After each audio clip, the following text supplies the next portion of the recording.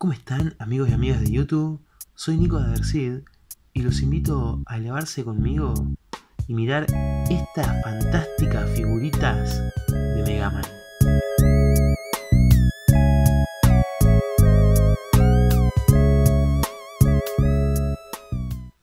En esta ocasión lo que tenemos frente a nosotros es el fruto de, del coleccionismo eh, más puro y duro, que es aquel en el que uno recorre y va encontrando, va completando una colección pieza por pieza en distintas escapaditas, alguna que otra feria o por algún que otro golpe de suerte. Eh, digamos que mm, poder tener estas figuras acá en este momento es el absoluto producto de la casualidad.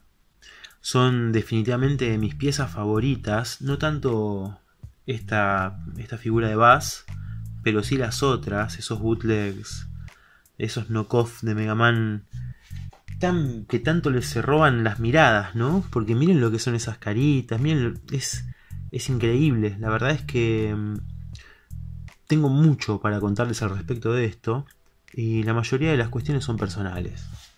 Vamos a parar con la cháchara y vamos a empezar a mirarlos. Vamos a arrancar primero por el muñequito de Bass, que es uno solo y es el que nos va a tomar menos tiempo. Como verán es una miniatura que está articulada. Miren, se le pueden mover los brazos y la cabeza y el torso. Entonces es un muñeco que eh, tranquilamente puede ser comparable en cuanto a comparaciones con los Manix, ¿verdad? Vemos que la escultura es muy buena para el tamaño de la figura y bueno, tiene algunos rastros de polvo que mm, ese polvo demuestra que el juguete que el juguete se le tiene cariño y que, no se lo trata como una especie de trofeo, ¿no? Miren el detalle de las piernitas. Y acá vemos, miren algo. Acaba de aparecer una inscripción. Wares Incorporated. 2004. Capcom Co Ltd. Miren qué, qué lindo el loguito de Capcom, ¿no? Tenerlo ahí frente a nuestros ojos. Eh, grata experiencia, fabricado en China.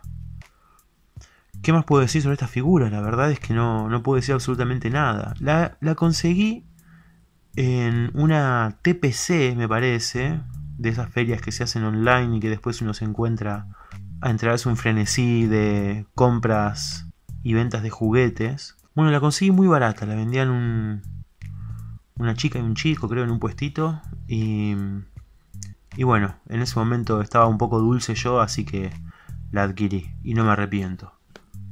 Y después lo que tenemos son estas figuritas, eh, estas super miniaturas de Mega Man, entre comillas Mega Man, porque nos encontramos ante ni más ni menos que un famoso knock-off, lo que se le dice en el mundo del coleccionismo, y se trata de figuras con diseños que son llamativamente parecidos a los de franquicias famosas, que están hechas con el simple hecho de poder eh, subirse al tren de alguna franquicia que esté teniendo éxito y que alguna abuela, una tía eh, compren estas figuras por accidente, porque no tienen ni idea de quiénes son los personajes y se, ellas para, para esa gente es todo igual.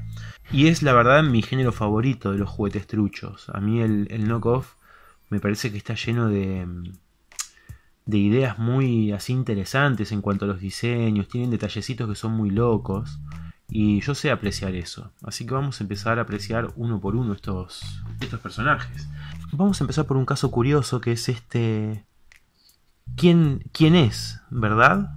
Es un enemigo un tanto genérico. Digo que es un enemigo, no sé por qué, porque me, me suena a que es malo.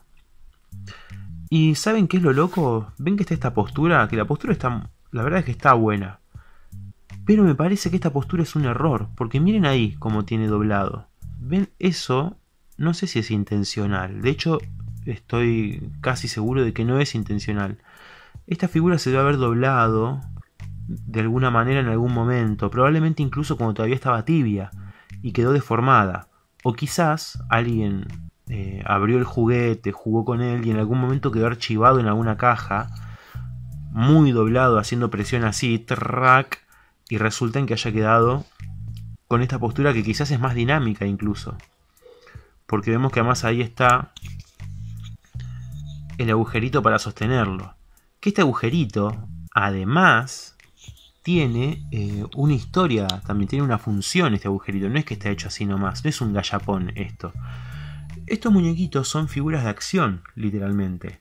Porque son un tipo de juguetes que yo tuve muy poco, la verdad, mucho menos de lo que hubiera querido. Eh, de hecho, no los tuve. Pero la cuestión es que eran dos rieles con un palito donde vos enganchabas esto y los llevabas a los muñequitos empujándolos mediante unos palitos eh, para un lado y para el otro. Y mientras iban para un lado y para el otro, iban girando así. Y se cagaban a palos. Cuando se cruzaban, se cagaban a piñas.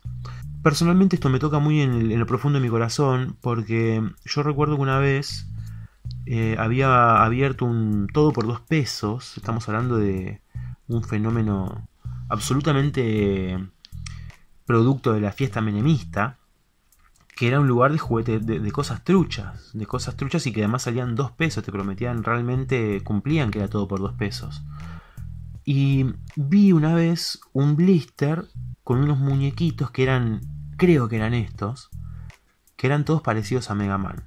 Y no los compré, no se los pedí a mi vieja, le, pedí otra cosa ese, en ese paseo. Y nunca más los volví a ver. Y no los recuerdo a las figuras. Recuerdo la sensación de que eran de Mega Man, pero no recuerdo cómo se veían. Así que yo sospecho que son estos. Creo que esta colección consta de cuatro figuras. Solamente poseo tres.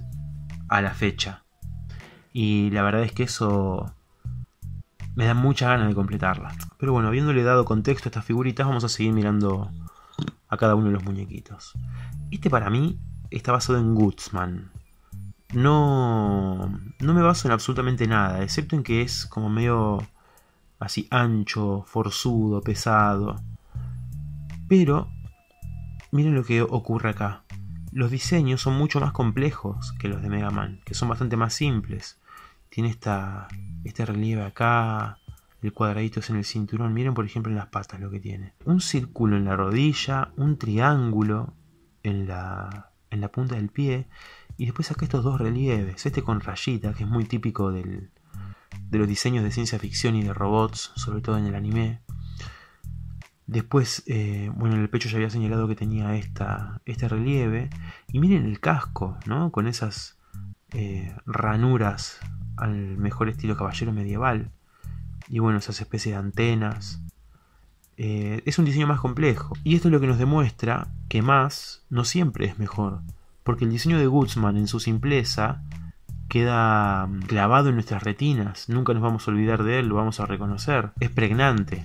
Esta figura, en cambio, si bien me encanta por lo complejo y todo eso, eso es lo que me gusta, el personaje no se te queda demasiado en la cabeza y quizás es por eso que yo no recuerdo aquella vez que los vi. Miren este, este es claramente Protoman. Está un poquito similar al Protoman del dibujo animado Yankee. Miren, se repite el, el fenómeno este que les estaba diciendo, de la exageración de detalles. Miren qué loca esta marca. Ahí, ahí seguramente lo rellenaban al plástico o algo por el estilo, eso tiene que ver con eso. Miren por ejemplo el casco que es mucho más complejo. Miren los detalles que tenía arriba. Es una locura. Esto ustedes saben que lo estoy pudiendo ver en este momento gracias al, a la cámara porque no, logro, no lograba distinguir estos detallecitos. Tiene una bolita en la punta, después toda una forma alrededor del casco, una rayita que llega hasta la nuca. Y miren, las orejitas me encantan, es muy retro. Es muy de los 60 esa, esas orejitas en punta. Eh, los ojos característicos de Protoman, que son esos anteojos negros, que están tan buenos, muy parecidos. También me hace acordar un personaje de Meteoro, Miren los musculitos. Y el booster tiene un montón de detalles. Miren lo que es eso. Bolitas de todos los tamaños, un montón de estas rayitas. Miren alrededor de la punta, como tiene todo seccionado así en partecitas. La verdad es que es impresionante. El puñito. El puñito está buenísimo.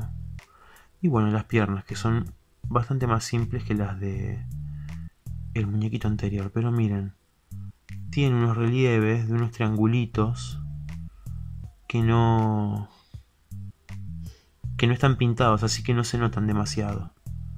Un diseño, un diseño hermoso, un knockoff de de pura cepa. Y terminamos con Mega Man, que bueno, como verán es el que más estuvo expuso, evidentemente es el orgullo de mi colección, porque tiene un montón de polvito, esto es una vergüenza. Sabrán disculpar. Lo primero que me llamó la atención a mí fue que la mano parece un dildo. Y quiero que se queden con ese dato porque es importante para lo que les voy a mostrar después de esta figura. La carita eh, se me hace un poco parecida a la de Hasbula. No sé si a ustedes les pasa lo mismo. Y miren acá. Este pedazo de pintura azul. Ah, es un error. Pero no es un error póstumo, al parecer es un error de fábrica. Es una lástima. Los detalles de los musculitos están buenísimos, igual que los de Protoman.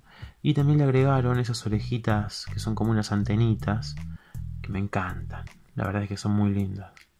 Y tienen también mucho, mucho detalle exagerado. Miren eso. La cabecita de Mega Man también es más compleja, teniendo esta forma alrededor de los ojos. Y el colorado de la carita, miren el tamaño que tiene esto, compárenlo con mi dedo.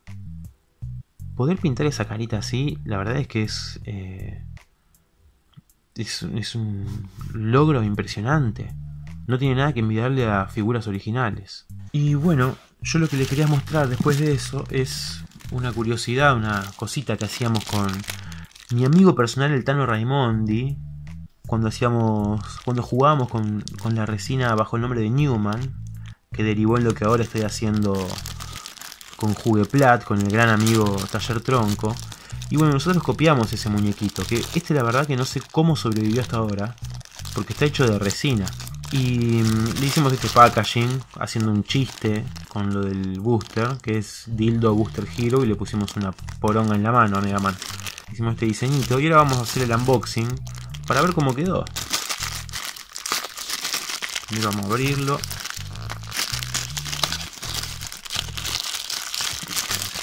En una bolsita.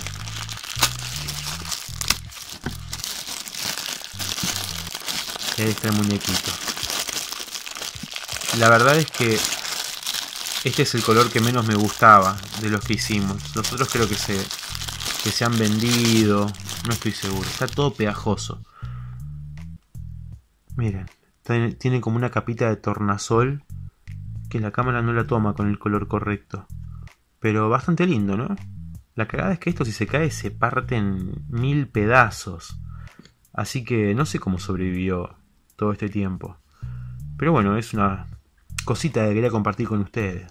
Y bueno, como verán, el estudio fotográfico de Adersid ha quedado hecho una piltrafa, así que yo voy a ponerme a ordenar y a guardar todo en su lugar. Y antes de despedirme, te voy a pedir que si te gustan los videos que hacemos y nos querés hacer el aguante, suscríbete al canal y déjanos tu comentario. Recomendanos a tus amigos y amigas entusiastas del coleccionismo, seguinos en nuestras redes sociales y si tenés la posibilidad y las ganas, podés hacernos una donación en la Cafecito App. También podés seguirnos en Twitch y acompañarnos en la epopeya de ganar todos los juegos clásicos que nos dé el cuero. Eso fue todo y espero que les haya gustado. Chao.